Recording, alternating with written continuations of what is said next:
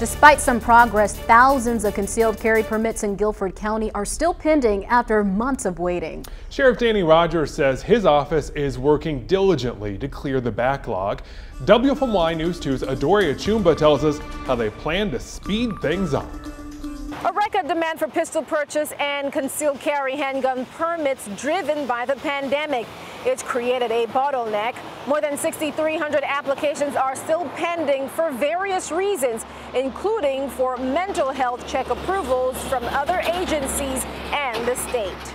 The first process is you have to go get your certificate and take the course, pass a multiple uh, choice exam, and then you have to, you know, uh, show you're proficient with uh, shooting at different ranges. Like many, Sebastian King was looking forward to his concealed carry handgun permit after applying online.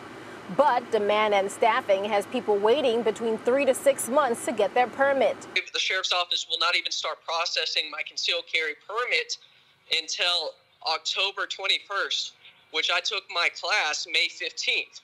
So that is a substantial wait. More than 20,000 applied for concealed carry permits in Guilford County in the past year, and about 9,000 applied for pistol purchase permit in the same time frame.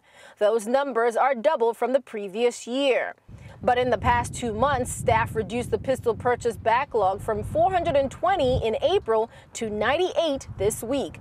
However, around 700 concealed carry permits were completed, with 3,600 awaiting certain checks before the approval process can move forward. Well, there's three or four different organizations that have to do background checks on the mental health status of people, the applications, the applicants that put that's been put in for the uh, pistol purchase permit, as well as for the uh, concealed carry handgun permit. The sheriff's office reallocated staff and added a third scan machine to help cut down the wait time. Anything that can reduce that time and help law-abiding citizens, I think, is progress. So I look forward to hearing from the sheriff's office about rescheduling my appointment to an earlier time.